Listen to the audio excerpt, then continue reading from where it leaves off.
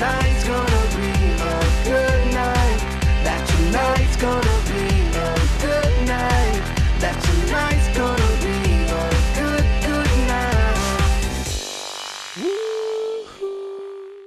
Racchiusa nei tre minuti della sintesi, la partita sembra persino sopportabile, in verità bisogna diluirla per 90 e passa minuti ed è stata di una noia mortale. Ciao Gigi, ben ritrovato. Buonasera. Sei d'accordo o, o no? Enzo, o ti è piaciuto? È stato un calcio stato- sono che ti è piaciuto? Eh. Sono stato rimproverato dagli amici, credimi, mi ero addormentato. Mhm. Su- su- no, non sto scherzando. Degli amici a un certo punto mi hanno spinto. Ah, ho preso un caffè, l'ennesimo caffè, perché effettivamente, primo tempo impresentabile, poi in questo clima di scommessa del genere, tutti adesso pareggiano, pareggiano, è diventato un caos, perché anche i risultati stessa Serie A, 2-0, 2-2, la gente ormai è praticamente è, è sintonizzata sulla lunghezza d'onda delle scommesse, è una cosa incredibile. Mm, eh, del resto non è colpa della gente, No, è colpa di chi eh, ha dato lo spunto per pensare a male. Ben ritrovati, eh, amici sportivi tifosi del Bari. Un saluto particolare a quelli che eh, comunque c'erano in occasione di Bari Juve Stabia, a quelli che hanno fatto il biglietto. In verità erano 651 i paganti, ma gran parte erano della tifoseria ospite, quindi credo che sì e no 200 baresi hanno pagato il prezzo del eh, biglietto. Eh, e qui dobbiamo chiederci, giusto così, non è giusto così? Eh, io ho detto più volte in trasmissione, i baresi hanno due marce diverse, no? Eh, mh, quando le cose vanno molto bene sono straordinari oltre la media, quando le cose vanno male sono invece, eh, come dire, distanti al di sotto della media. Vorrei capire il tuo punto di vista. La giornata era bellissima, non del genere. Il problema è, il problema è che la gente non ha, non ha idee chiare sul futuro. È chiaro che alla fine non penso che la gente ha optato per rimanere in casa. Inizia la bella giornata, a questo punto qualcuno, io non sono sposato, qualche moglie avrà avuto, avrà avuto un peso determinante, la gente sarà andata a Savelletta a mangiare il riccio o qualche altra parte. Insomma, il problema è solo quello.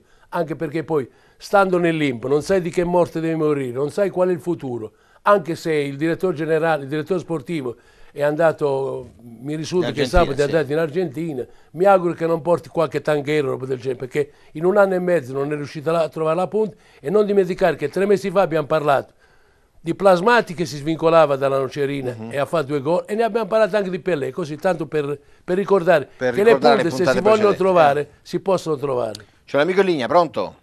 Ciao Enzo, saluto il tuo ospite. Ciao, Grazie. ciao, ciao. Sei andato allo stadio sabato o no? No, Enzo, Mm. a parte che sono sinceramente parlando disgustato, Mhm. mm, però io le cause non le troverei nei ragazzi Sì. che magari ci mettono tutto l'entusiasmo. In primis do la colpa alla famiglia Mattarrese Mhm. che ha buttato nelle mani di un direttore sportivo Angelozzi che secondo me è il capostipite di tutta la società.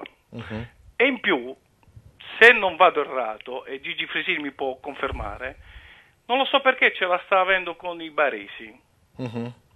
Se- Questa è la mia impressione, cioè non stiamo valutando i nostri giovani quando valutiamo un Romizzi, un, un, un altri Crescenzi. Crescenzi.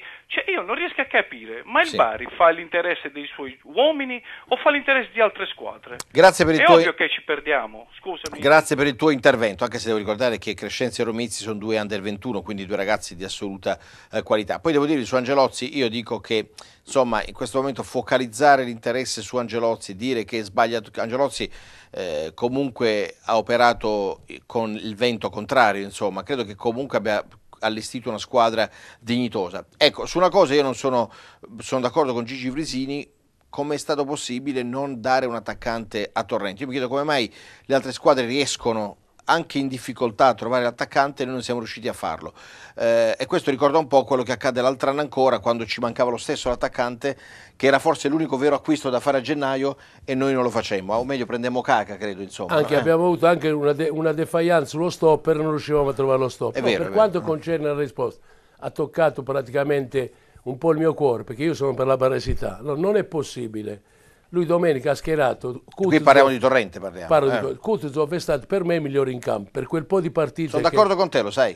Kutuzov ha fatto una partita non da centravanti, o meglio, da centravanti vecchia maniera. ha, ha fatto il centravanti e li deguti in una maniera Guti, bravo. intelligente perché loro avevano il, centra- il centrale Molinari che era lento come una lumaca Insomma, tra Molinari, tra Molinari e Borghese non- se, se fanno una corsa vince la tartaruga tra, tra i due no? Mhm. sinceramente A quel punto Kutuzov doveva servire l'ipotetico centravanti che era Il lui. Barreto doveva Il servire. Barreto, vabbè. Barreto sarebbe andato- Barre- no, a Nozze, sarebbe avrebbe- andato a Nozze eh, con quella difesa. Non lo ha fatto, vabbè, bontà sua, sono problemi suoi. Però non puoi giustificare e mettere un ragazzo a 10 minuti alla fine quando la partita la vuoi vincere. Allora devo pensare che avendo la Cosa mentalità- stai pensando? Che lui avendo a quale ment- calciatore? stai- Chi ha No, mi riferisco a Rana. A Rana, sì, sì. Se l'hai utilizzato 10 minuti, sicuramente la condizione l'avrà ritrovata. Premesso, non sono procuratore di Rana, non mi interessa di Rana e degli altri. Tornando al discorso di Bellone, Bellone domenica è andato in tilt, Mm. che lo ha fatto riscaldare 50 minuti. E alla fine, dopo 50 minuti, è come il bollitore del gas. Il ragazzo alla fine, anzi 57 minuti, lo mettevi al posto di Galano. C'è un amico in linea, pronto?